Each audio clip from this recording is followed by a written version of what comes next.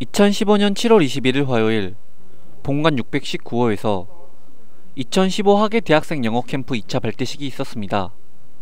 하계 대학생 영어 캠프는 선문대학교 외국어 교육원과 파고다 어학원이 주최로 선문대학교 재학생들의 영어 능력 향상을 위해 진행하고 있습니다.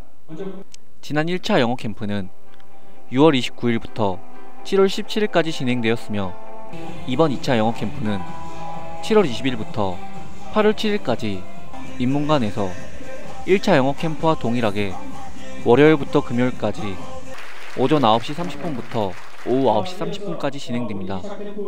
발대식은 보건교육 이후 국민 의례를 시작으로 진행되었으며 황선조 총장은 1차에 이어 2차 캠프에도 많은 학생들의 참여와 수고에 감사하다는 말을 전했고 이어서 외국어 교육원의 이민호 원장은 캠프 참여 학생들에게 긍정적인 행동과 태도를 강조하며 학생들에게 격려의 말을 전했습니다.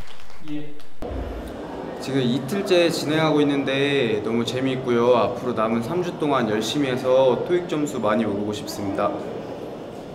1차 캠프에 이어 2차 캠프에서도 학생들의 좋은 결과를 얻을 수 있길 바랍니다. 이상 선문 위클리 뉴스 문철원 기자였습니다.